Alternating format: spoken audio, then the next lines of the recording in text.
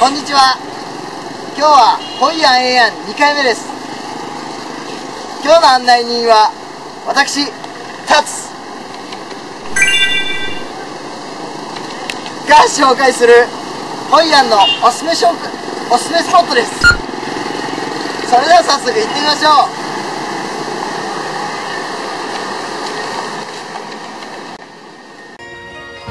う。ホイアンええやん。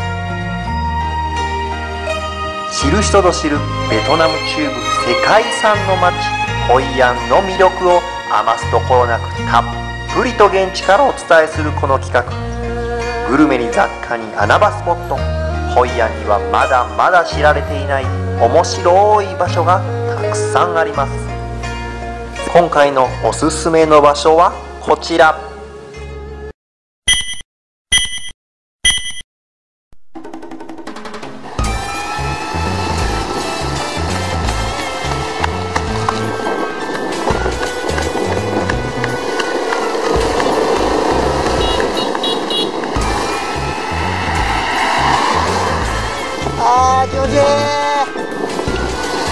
バイク速い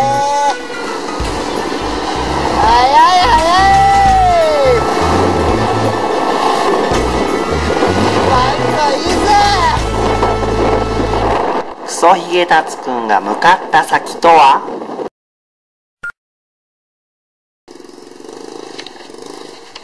さあ到着しました。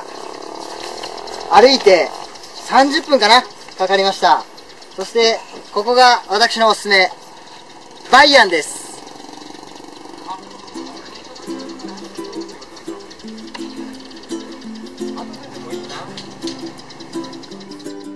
アンバンビーチにあるレストランバーバン。ヤンホイアンから車で5分のところにあるアンバンビーチは観光客にはあまり知られていないドローカルなビーチ。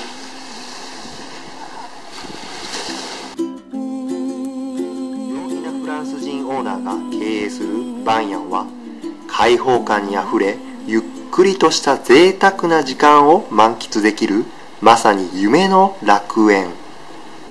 それではお待ちかねの海へ行きましょう。透明度の高い海水を前に大興奮のタツくん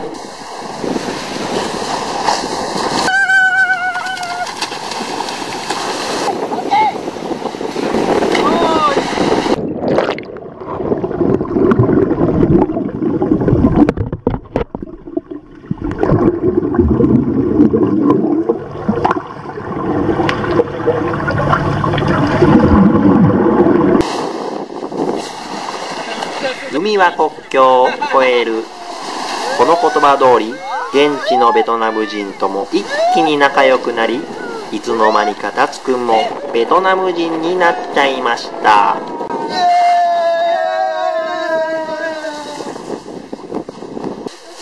強い。あーちょっといい。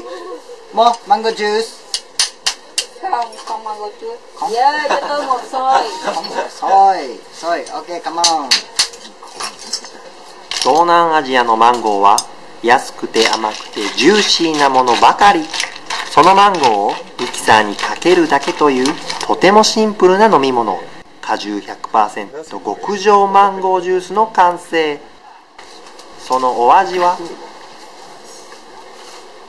あすっごい濃厚だ。美味しいよこれ。ベリンゴンですよ。超うまいこれ。この独特の南国のフルーツっていう味がねこれがすごく美味しいですね。ここでしか食べられない。バイアンジュースです。喉を潤しお決まりのビリヤードタイム。タツくんも腕を上げたようです。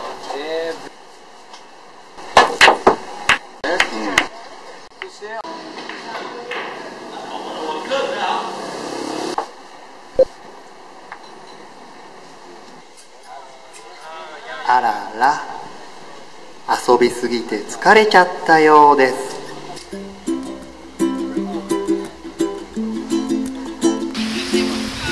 第2回ホイアンエイア。いかがでしたでしょうか？ここアンバービーチにあるレストランエンバーバイアン。ぜひ皆さんも一度足を運んでみてください。それではまた変がプライ。回もまたおいやんええやんをどうぞお楽しみに。